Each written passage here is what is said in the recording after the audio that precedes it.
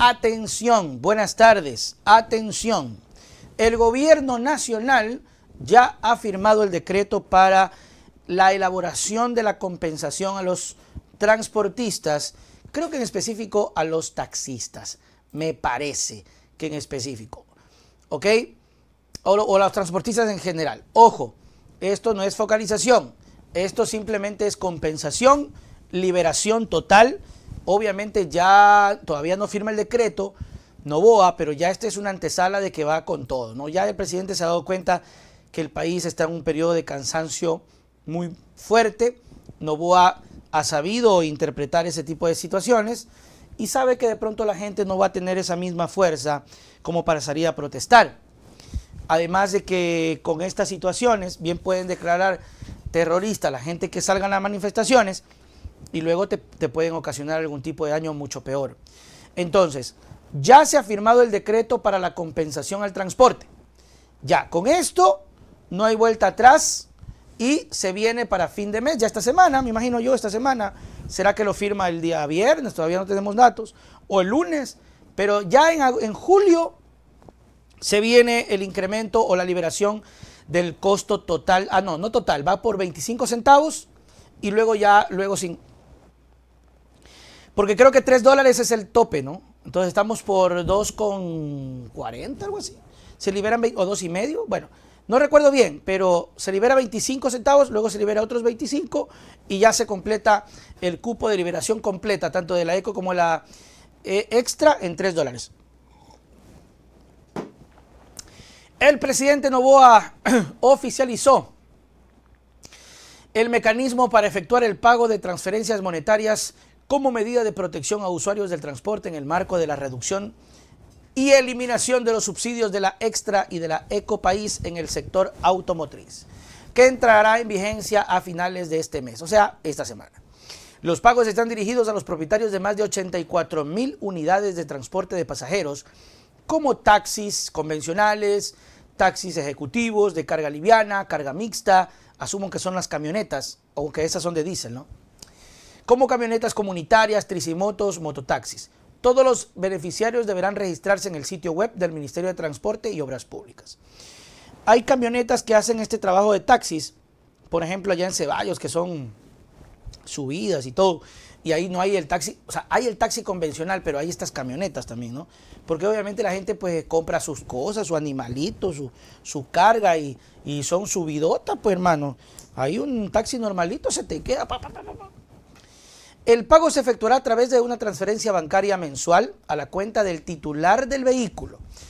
El Ejecutivo explicó que el monto de este bono, ya ahí lo dicen como debe ser, es un bono, será definido al multiplicar la diferencia entre el precio por galón, que es de 2,46, ahí está, y el precio de venta al público que, que comunique mensualmente el Ministerio de Energía por el monto de galones referenciados, referenciados para cada tipo de transporte. El volumen referencial de consumo de galones al mes para taxis convencionales y ejecutivos fue definido en 156. En el caso de transporte de carga liviana y mixta, la cifra es de 145 galones al mes. Y finalmente, el número que corresponde a tricimotos y taxis se fijó en 90 galones al mes, según se puede apreciar en la tabla de valores que la Presidencia de la República ya publicó. De esta manera, el gobierno asumirá la diferencia de lo que cuesta cada galón, evitando el alza de tarifas del servicio de este tipo de transporte a la ciudadanía. Ojo, ojo con esto. La plata le llega al dueño del taxi. Este, esta es la medida de compensación, ¿no? La plata le llega al dueño del taxi. ¿Qué haga con la plata el dueño del taxi? Ve tú a saber. Ya, hay que ser muy sinceros en eso, ¿no? Por eso no es una focalización de uso de combustibles, ¿no? Es la compensación y es la fórmula que han encontrado más rápida de hacerlo. Ok, porque acuérdense que hablaban de que la tarjetita, que los galones, que no sé qué. Pare de contar. Se elimina para todo el mundo. Sáqueme la lista de, de transporte y le pagamos a ellos la diferencia. O sea, el subsidio a ellos. Este, por decirles, por decirles, voy a hacer una comparativa. A un dueño de taxi mensualmente le va a llegar solamente es una, un invento mío, 100 ¿ah? dólares. 100 dólares de la diferencia. No es que él va a ir a comprar gasolina más económica, no. Él comprará la gasolina liberada como todo el mundo. Esos 100 dólares, que los ponga en una cuenta para que no lo va a hacer. Seamos sinceros. nuestra cultura financiera es bastante precaria, ¿no? No todo el mundo, pero seamos sinceros. ¿no? no es que va a llegar y va a decir, va a llegar los 100 dolaritos, va a decir, mi, amor, guárdame los 100 dolaritos para la gasolina. No, no, no. Dice acá, para ti no es Nelson, ¿eh? tú no eres taxista. No, ¿y dijo que es para mí? Pues, Es para los taxistas, tricimotos, buses. Se supone que para que no suba a la carrera, ¿no? No sé cómo lo van a controlar, no lo sé. No sé si, no sé si esto lo... Miren, por ejemplo, la problemática, que nadie habla de esto, ¿no? ¿Qué pasa con el alquiler del taxi?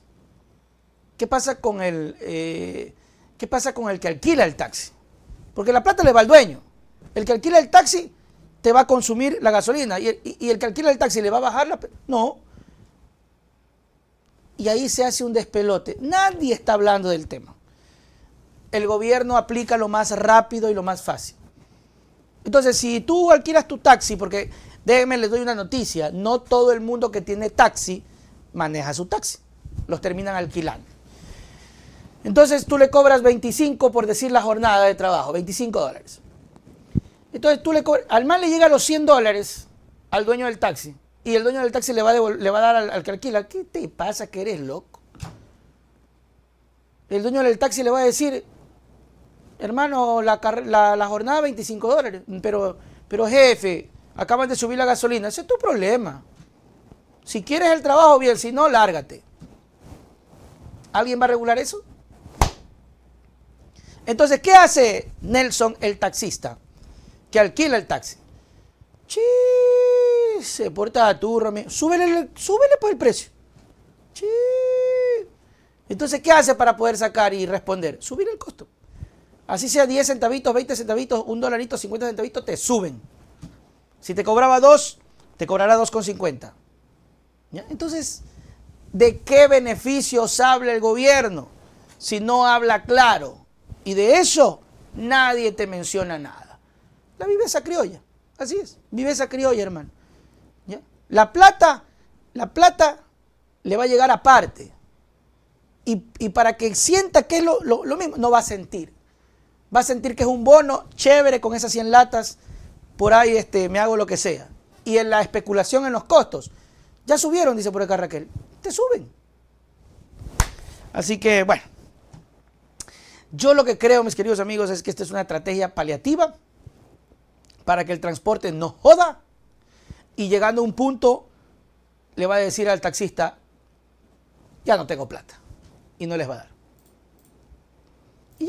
Y como ya le cobraron y como ya el otro aceptó y todo eso y se, y se subió, terminan pagando los platos rotos la gente. Se acabó